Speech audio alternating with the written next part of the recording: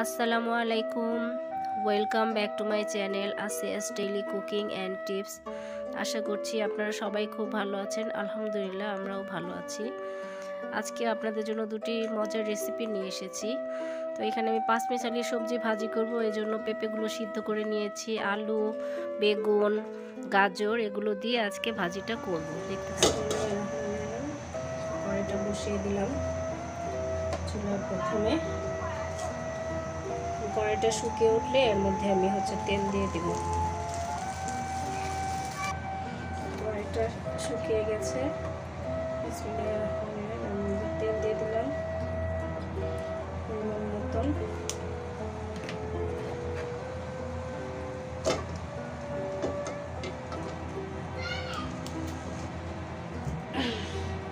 এখন আমি এর মধ্যে হচ্ছে এখানে শুকনো মরিচ, কালো জিরা আর হচ্ছে রসুন কুচি। এখানে আমি হচ্ছে তেলের মধ্যে প্রথমেই আগে শুকনো মরিচটা দিয়ে দিব।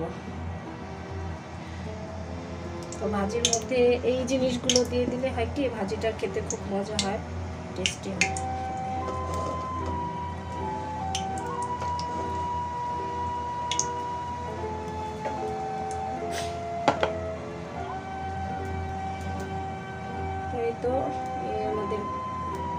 মরিচটা ভাজা হয়ে গেছে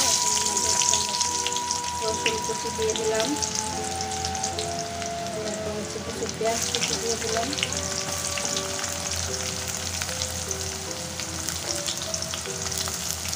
এটাকে আমরা তেলের মধ্যে ভালোভাবে ভেজে নেব।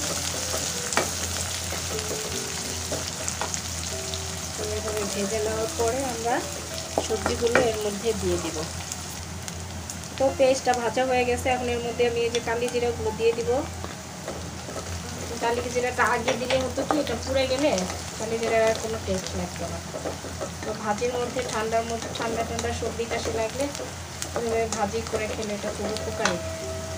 তো এখন এর মধ্যে আমি সব সবজিগুলোকে দিয়ে দিব।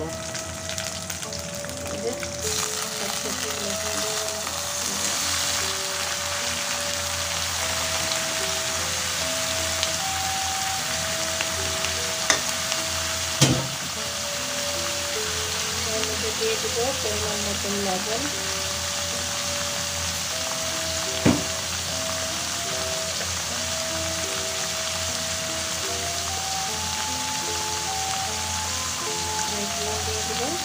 সামান্য পরিমাণ সামান্য পরিমাণ ধনিয়া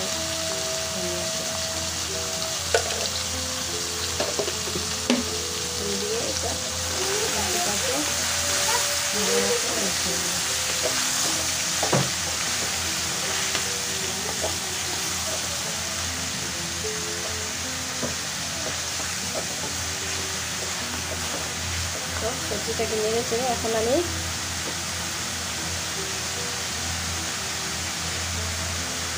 দুইটা কাঁচামরিচের মধ্যে দিয়ে দিলাম। এবং সবজিটাকে আমি ঢেকে দিব।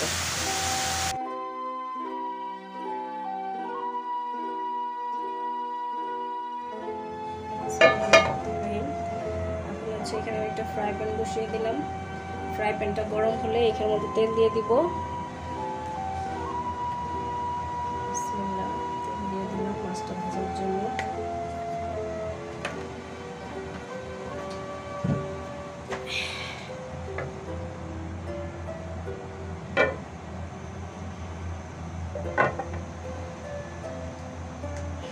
ভাজার জন্য তেল দিয়ে দিলাম। আর এই যে এখানে কিছু মাছ আছে অবশিষ্ট। আর মাছগুলোকে আমি দেশ থেকে নিয়ে এসেছি। যেহেতু এটা ভাজা, তারপর একটু ভেজে নেব আমি।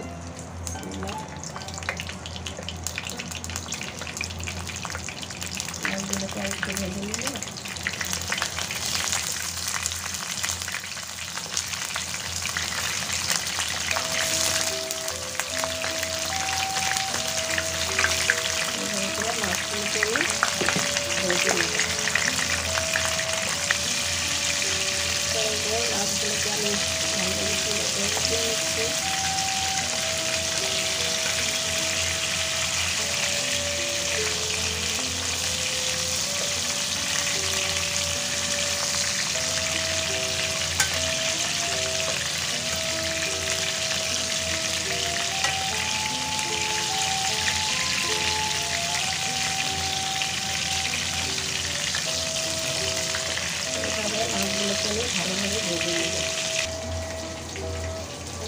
তো এই যে ফাইনালি আমাদের ভাজিটা মোটামুটি হয়ে গিয়েছে। মশাল্লা দেখুন ভাজির কালারটা কি সুন্দর এসেছে। একটু নেড়ে চেড়ে এর মধ্যে আমি হচ্ছে কিছু ধনিয়া পাতা দিয়ে দিব। ধনিয়া পাতা দিয়ে ভাজিটাকে নামিয়ে ফেলব।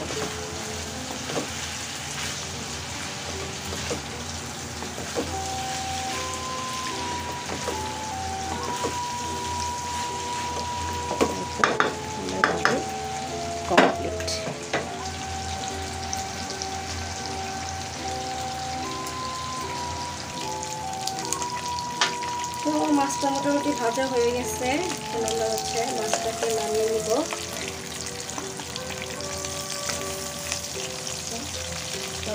মাছই আমাদের ভাজা হয়ে গেছে, এখন মাছগুলোকে আমরা নামিয়ে নেব।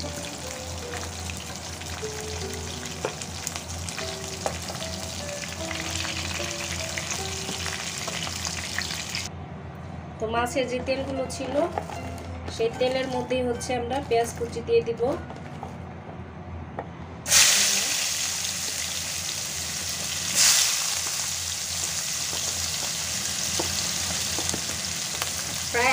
পরিমাণের পেঁয়াজ কুচি এখানে আমি দিয়ে দিলাম।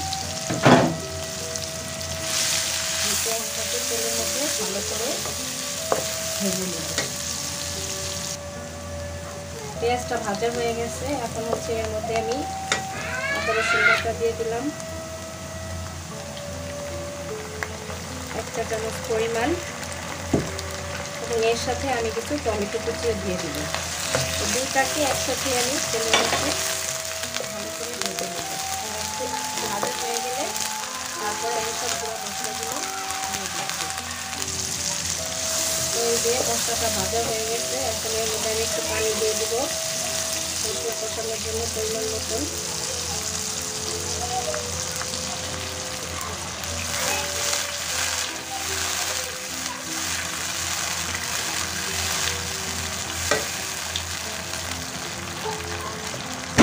পানি দিয়ে দিলাম।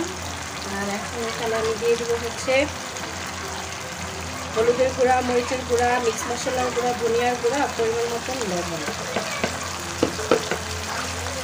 দিয়ে আমি মশলাগুলোকে ভালোভাবে কষিয়ে নেব।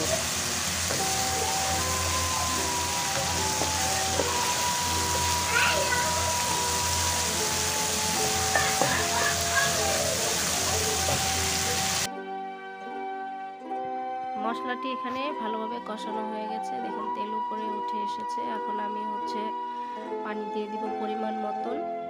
পানি দেওয়ার পরে ভাজা মাছগুলো এর মধ্যে দিয়ে দিব। বাকিটা কুক হওয়ার জন্য। তো এখন এখানে যে পরিমাণ মতন পানি আমি দিয়ে দিয়েছি। এখন একে একে ভাজা মাছগুলো আমি হচ্ছে তেলের সরি ঝোলের মধ্যে আমি হচ্ছে দিয়ে দিব এই মাছগুলোকে। তো প্রতিটা মাছ আমি সুন্দরভাবে এভাবে তরকারির মধ্যে দিয়ে দিলাম।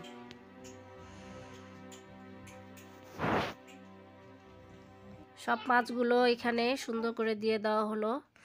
এখন হচ্ছে আমি এর মধ্যে তিনটা কাঁচামরিচ দিয়ে দিলাম। কাঁচামরিচ দিয়ে এখন এটাকে আমি ঢেকে দিব ভালোভাবে কুক হওয়ার জন্য। এই যে দেখুন মাছটা মাছটা বলক উঠে এসেছে। এখন আমি এটাকে কিছুটা কমিয়ে দিব। এবং এর ঝোলটা কমে আসলে আমি এর মধ্যে কিছু ধনিয়া পাতা দিয়ে মাছটাকে নামিয়ে নিব। আর ধনিয়া পাতাটা দিলে মাছের টেস্টটা খুব ভালো লাগবে খেতে। তো এই যে দেখুন, আমার মাছটা ফাইনালি মোটামুটি হয়ে গিয়েছে। এখন আমি এর মধ্যে হচ্ছে এই যে ধনিয়া পাতাগুলো এখন এর মধ্যে দিয়ে দিব। সব ধনিয়া পাতাগুলো দিয়ে আমি মাছটাকে হচ্ছে নামিয়ে নিব। তো এই তো ফাইনালি আমার মাছটা হয়ে গিয়েছে, দেখতে পাচ্ছেন। মাছের চেহারাটা মাসাল্লাহ খুব সুন্দর হয়েছে। তো এখন আপনাদেরকে আমি একটু পরিবেশন করে দেখিয়ে দিচ্ছি যে মাছটা কেমন লাগছে ফাইনালি দেখতে। তো এই তো আমাদের এই যে সামুদ্রিক পোয়া মাছ, এই মাছটা কিন্তু খেতে খুবই মজা। যারা খেয়েছেন তারা তো জানেনই, আর যারা খাননি তারা ট্রাই করে দেখবেন। আর এই হচ্ছে আমাদের পাঁচমিশালি সবজি ভাজি, এটাও খুব মজার একটা ভাজি ছিল। তো আশা করছি আজকে আর রেসিপি দুটি আপনাদের সবার খুব ভালো লাগবে। ভালো লাগলে আমার চ্যানেলটি সাবস্ক্রাইব করে দিবেন, একটি লাইক করে দিবেন কমেন্টের মাধ্যমে আপনাদের মতামত আমাকে জানাবেন। আর সাবস্ক্রাইব করার পরে যে বেল আইকনটি আছে, ওটা প্রেস করে দিবেন, তাহলে নতুন ভিডিও ছাড়ার সাথে সাথে আপনাদের কাছে নোটিফিকেশন পৌঁছে যাবে। সবাই ভালো থাকবেন, আমাদের জন্য দোয়া করবেন।